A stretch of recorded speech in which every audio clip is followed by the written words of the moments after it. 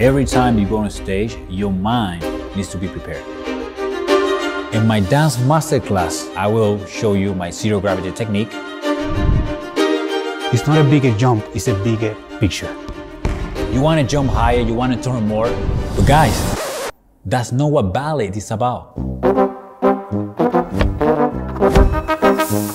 I'm coming to invite you to my dance masterclass. What I'm going to teach you is something that anyone can do. Oh my God.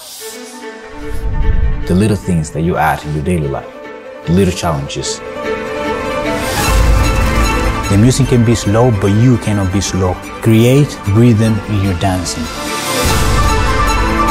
You are the one who has to believe that you can make it. Don't be lazy. Let's start.